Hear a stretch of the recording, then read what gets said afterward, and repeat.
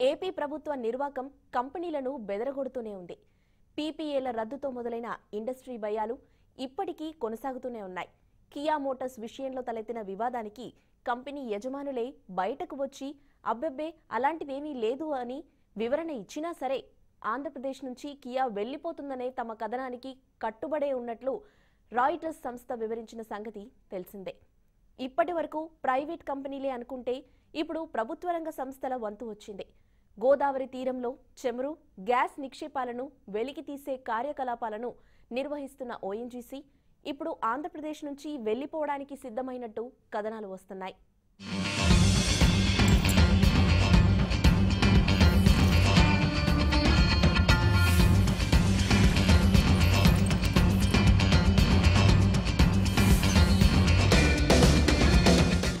ఒక రాష్ట్రం నుంచి కంపెనీలు పారిపోవడం అంటే చిన్న విషయం కాదు.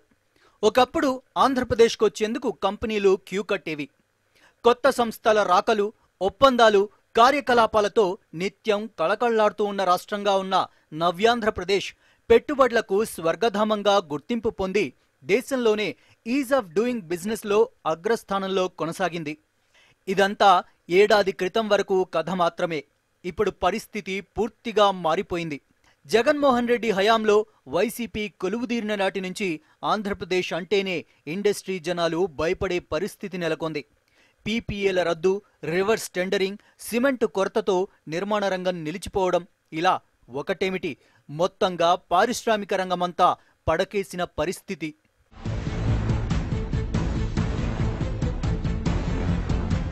కొన్నాళ్ళ క్రితం కియా మోటార్స్ విషయంలో పెద్ద హంగామానే నడిచింది. అబ్బెబ్బే అంటూ ఈ వివాదాన్ని ప్రభుత్వ ప్రతినిధులు బుకాయించినా రాయిటర్స్ మాత్రం తమ కథనాన్ని అప్డేట్ చేసి మళ్ళీ ప్రచురించిన సంగతి చూసేశాం.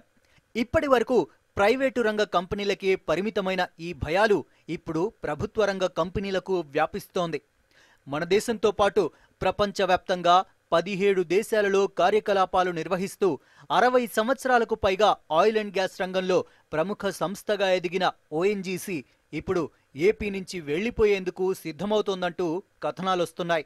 ఆంధ్ర ప్రజల బాధలను రాబోయే పరిస్థితులను ఎప్పటికప్పుడు అంచనా వేస్తూ సమస్యలను వెలుగులోకి తెస్తున్న తెలుగుదేశం పార్టీ వర్గాలు ఈ విషయంపై భగ్గుమంటున్నాయి.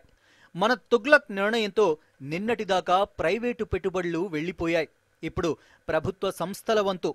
ఏమి పాపం చేశాడు ఆంధ్రుడు ఈ అపఖ్యాతి మూటగట్టుకోవడానికి అంటూ నారా లోకేష్ ట్విట్టర్ వేదికగా ఆవేదన వ్యక్తం చేశారు.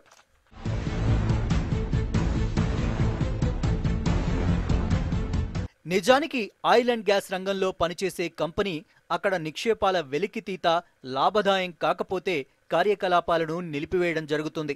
కానీ కేజీ బేసిన్లో కార్యకలాపాలు నిర్వహిస్తున్న ఓఎన్జీసీ విషయంలో జరుగుతున్న కథ కమామిషు అంతా వేరు అంటున్నారు. వేల కోట్ల పెట్టుబడులు లక్షల కోట్ల టర్నోవర్ దశాబ్దాల తరబడి ప్లానింగ్.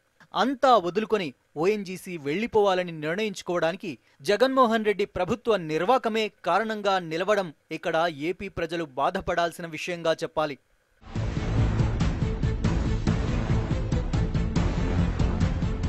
ఓఎన్జీసీ సంస్థకు అనుబంధంగా ఆయిల్ రిగ్ల నిర్వహణ చేపడుతోన్న నాబోర్డ్స్ సంస్థకు చెందిన భారీ వాహనాలకు ప్రజా ప్రతినిధులు అడ్డుపడుతుండడం దీనికి ప్రభుత్వం నుంచి స్పందన కరువవడంతో పాటు ఉదాసీనంగా వ్యవహరిస్తోందని ఆరోపణలు వినిపిస్తున్నాయి. దీంతో తాము ఇక్కడ విధులు నిర్వహించలేమని నాబోర్డ్స్ తేల్చేసిందని కథనాలొస్తున్నాయి.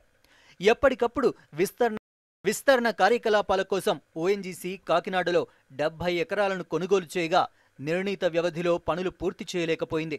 దీంతో ఏపీఐఐసి ఇరవై కోట్లు ఫైన్ విధించగా అసలే నిధులపైన తప్ప మరి ఏ అంశంపైన దృష్టి నిలపని వైసీపీ ప్రభుత్వం ఓఎన్జీసీ నుంచి పదిహేను కోట్లు తక్షణమే చెల్లించేందుకు సుముఖత వ్యక్తమైన మరో ఐదు కోట్లు వాయిదాల్లో చెల్లిస్తామని తెలిపిన ఏపీఐఐసి నుంచి స్పందన కరువైంది.